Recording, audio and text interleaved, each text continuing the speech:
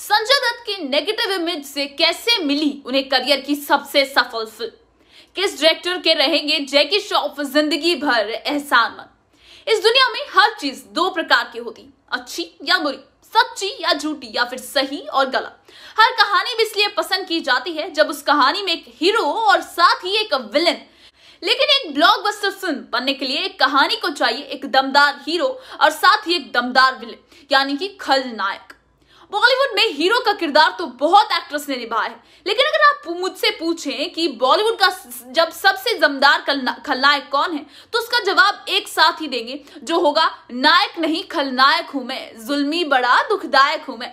आज हम बात कर रहे हैं बॉलीवुड की सबसे आइकॉनिक फ़िल्मों में से एक खलनायक। की इस फ़िल्म ने दिया हमें एक असली खलनायक। इस फ़िल्म को आज भी लोग बॉलीवुड की सबसे एंटरटेनिंग फ़िल्मों के रूप में याद करते हैं। लेकिन इस फ़िल्म को याद करने का एक और बड़ा कारण है। इस फ़िल्म के इर्द गिर्द हुई कॉन्ट्रावर्सीज इस फ़िल्म की कॉन्ट्रोवर्सीज के बारे में बात करने से पहले हम आपको एक किस्सा सुनाते हैं। दरअसल, जब खलनायक फ़िल्म का टाइटल सुभाष घई ने तय किया था तो इस फ़िल्म के डिस्ट्रीब्यूटर्स को लगा कि वो बहुत बड़ी गलती कर रहे हैं, क्योंकि आम जनता इस फ़िल्म के टाइटल को समझ ही नहीं पाएगी और सबको लगा कि ये फ़िल्म पक्का फ्लॉप होने वाली है। तब सुभाष घई ने फ़िल्म के डिस्ट्रीब्यूटर्स को कहा कि आप लोग इस बात की चिंता ना करें, ये फ़िल्म रिलीज़ होने के एक महीने पहले ही हर इंसान की जुबा पर होगी और हुआ भी ऐसा ही। इस फ़िल्म के बहुत सी कॉन्ट्रोवर्सीज का सामना करना पड़ा था। सुभाष गई को इस फ़िल्म को बनाने में बहुत दिक्कतें आई थी। यही नहीं, वो इस फ़िल्म को लेकर इतना परेशान थे कि उन्हें भूख, प्यास कुछ नहीं लगती थी और ना ही नींद आती थी। तो क्या थी उनकी परेशानी की वजह? हम आपको बताते हैं। दरअसल, खलनायक फ़िल्म में रिलीज़ से पहले संजय दत्त को गन्स रखने के संबंध में गिरफ़्तार कर लिया गया और पूरे देश में संजय दत्त को देशद्रोही करार दिया गया था, जिसकी वजह से लोग खलनायक फ़िल्म के पोस्टरों को फाड़ने और जलाने लगे थे। और यही नहीं फ़िल्म में माधुरी को फ़ेमस गाना, चोली के पीछे क्या है, को सेंसर बोर्ड ने कट कर दिया था, क्योंकि इस गाने के बोल अश्लील और अपजनिक थे। सुभाष गई की फ़िल्म जो साढ़े तीन करोड़ में बन रही थी, अचानक से इतने विवादों में आ गई कि सही में हर इंसान की ज़ुबान पर इस फ़िल्म का नाम था। जब फ़िल्म पूरी बनकर तैयार हुई, तब तक संजय दत्त की मुश्किलें और बढ़ चुकी थी। बावजूद इसके घई फ़िल्म रिलीज़ करना चाहते थे, उनके साथ काम कर रहे लोगों का कहना था कि इतना पैसा लगाकर फ़िल्म बनाई है। फ़िल्म का लीड एक्टर जेल में है, उस पर देशद्रोही होने का आरोप लग रहा है। नेगेटिव इमेज बन गई है, फ़िल्म अभी रिलीज़ हुई तो पिट जाएगी, लेकिन सुभाष गई इनके दिमाग में कुछ और ही चल रहा था। कई वजह फ़िल्म को बैन करने की मांग और विरोध प्रदर्शनों के बीच गई ने दिल्ली में अपनी फ़िल्म के 11 प्रीमियर शो रखे।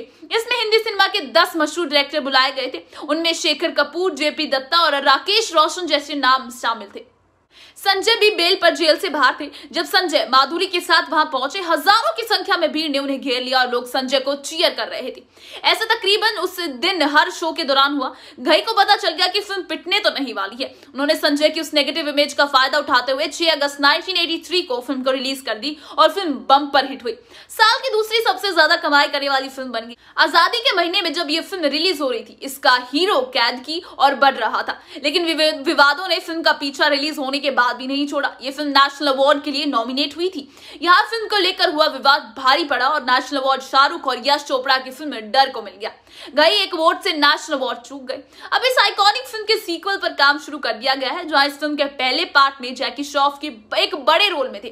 फ़िल्म के सीक्वल में जैकी के बेटे टाइगर श्रॉफ को कास्ट किया जाएगा। एक इंटरव्यू में सुभाष गई ने अपने अपकमिंग प्रोजेक्ट खलनायक के सीक्वल और पुरानी वाली खलनायक को लेकर काफ़ी बातें की।